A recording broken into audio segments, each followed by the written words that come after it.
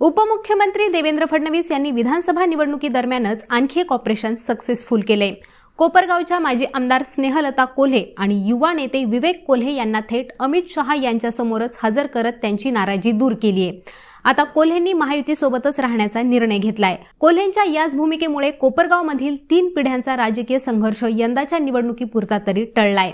पण त्यांनी निवडणुकीतून माघार घेतल्याचे पडसाद हे जिल्ह्यासह आजूबाजूच्या मतदारसंघांवरही दिसून येणार आहेत. आणि याचा सगळ्यात जास्त आणि थेट परिणाम होणार आहे तो महसूल मंत्री राधाकृष्ण विखे पाटील यांच्या शिर्डी मतदारसंघावर. विखेंसाठी एक प्रकारे शिर्डी मतदारसंघाचं आता गणितच सेट झाले तर कोल्हे यांची महायुती सोबत राहण्याची भूमिका ही विखेंसाठी कशी फायदेशीर ठरू शकते पाहुयात या व्हिडिओच्या माध्यमातून. आशुतोष काळे हे महायुतीत आल्याने कोपरगावच्या जागेचा पेस निर्माण झाला होता. भाजपकडून या मतदारसंघातून विवेक कोल्हे हे दावेदार होते. पण भाजपकडून उमेदवारी मिळणार नसल्यानं कोल्हेंनी काही दिवसांपासून शरद पवारांशी जवळीक वाढवली होती. त्यांनी पुण्यात शरद पवारांची भेटही घेतली.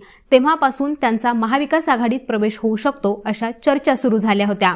बाळासाहेब थोरात यांनीही विवेक कोल्हे यांना गळाला लावण्यासाठी फिल्डिंग लावली होती. मात्र कोल्हेंचा प्रभाव हा केवळ कोपरगाव मतदारसंघावर नाहीये. त्यामुळे त्यांची नाराजी आणि पक्ष सोडून जाणं हे परवडणारं नाही.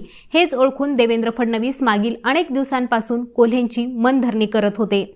कोल्हे यांच्या भूमिकेचा थेट परिणाम हा शिर्डी मतदारसंघावर होतो. गणेशनगर कारखाना परिसरात कोल्हेंची मोठी ताकद आहे.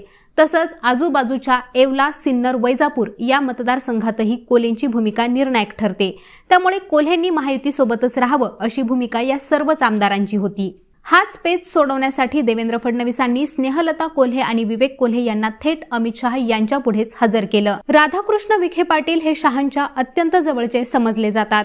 त्यामुळे शहा यांनीही तातडीनं कोल्हेंची समजूत काढण्यासाठी पावलं उचलली. या भेटीबाबत माहिती देताना विवेक कोल्हे म्हणाले की राज्यातील माहितीमध्ये कोपरगाव विधानसभेचा निर्माण झालेला पेच सोडवण्यासाठी भारतीय जनता पक्षाने कोल्हे कुटुंबाची दखल घेऊन सकारात्मक दृष्टिकोन दाखवला आहे. आगामी काळात राजकीय ताकद देऊन कोल्हे कुटुंबाचा स्वर्गीय शंकररावजी कोल्हे साहेब यांनी जोपासलेला सेवा हाच धर्माचा वारसा जोमाने पुढे नेण्यासाठी केंद्रीय नेतृत्वानं सकारात्मक विश्वास दिलाय. आता कोल्हे यांच्या या निर्णयाचा आशुतोष काळे यांना तर लाभ होणारच आहे. पण काळेंसमोर तुल्यबळ उमेदवार नसल्यानं ही निवडणूक एकतर्फी होण्याची शक्यता आहे. मात्र शिर्डी मतदारसंघात प्रभावती घोगरे यांनी भाजपची धाकधूक वाढवली होती. गतवेळच्या विधानसभा निवडणुकीपासूनच विखे विरुद्ध कोल्हे असा सामना सुरू होता. विखेंचे मेहुणे राजेश परजणे यांची उमेदवारी कोल्हेंच्या पराभवाला कारणीभूत ठरली असल्याचं बोललं गेलं. याला गणेश कारखान्याच्या निवडणुकीमुळे आणखी खतपाणी मिळालं. त्यामुळे कोल्हेंच्या मदतीची आस प्रभावती घोगरे यांना होती. विखेंविरुद्ध लढताना कोल्हेंना मानणारी मतं हाच घोगरेंच्या विजयासाठीचा आधार होता.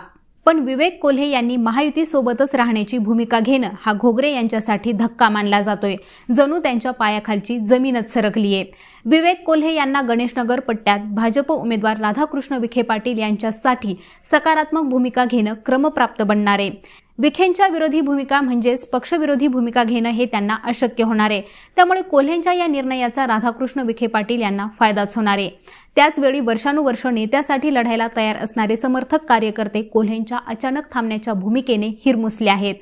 शिवाय कोल्हे काळे या जुन्या राजकीय सामन्याला यंदा कोपरगावकर मुकणार असल्यानं कार्यकर्त्यांमध्येही नाराजीचा सूर दिसून येतोय. आता मंडळी याबद्दल तुम्हाला काय वाटतं ते आम्हाला कॉमेंट करून नक्की सांगा. आणि यांसारख्याच ताज्या राजकीय घडामोडी या सविस्तर विश्लेषणासहित जाणून घेण्यासाठी लेट्सअप मराठीला सर्वच सोशल मीडिया हँडलवरती फॉलो करायला विसरू नका आणि पाहत रहा लेट्सअप मराठी.